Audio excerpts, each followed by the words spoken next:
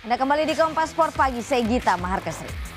Hangzhou Organizing Committee memberikan media kit sebagai souvenir atau kenangan khusus para peliput Asian Games dari berbagai negara. Sementara itu selama gelaran Asian Games banyak tempat menarik di Hangzhou. Salah satunya adalah Shilek atau Danau Barat yang menjadi magnet untuk wisatawan bersuap foto. Berikut liputan selengkapnya.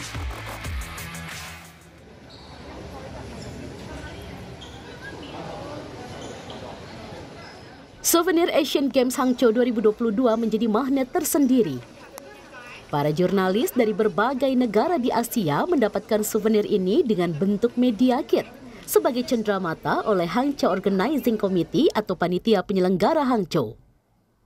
Media kit yang diberikan untuk para jurnalis berisi tas punggung, notes beserta alat tulis, botol air minum, serta payung, mengingat Hangzhou tengah memasuki musim penghujan lalu bantal leher, hingga maskot resmi Asian Games yakni Chen Chen.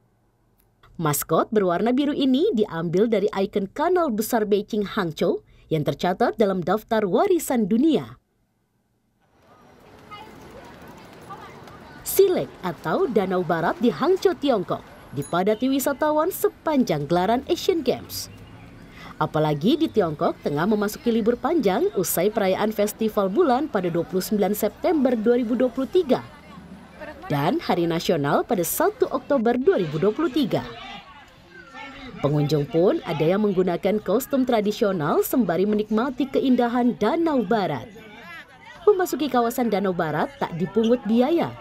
Namun untuk wisatawan yang ingin ke tengah danau harus rela mengantre panjang untuk naik kapal. Harga naik kapal ini dipatok 55 yuan atau setara dengan 110 ribu rupiah.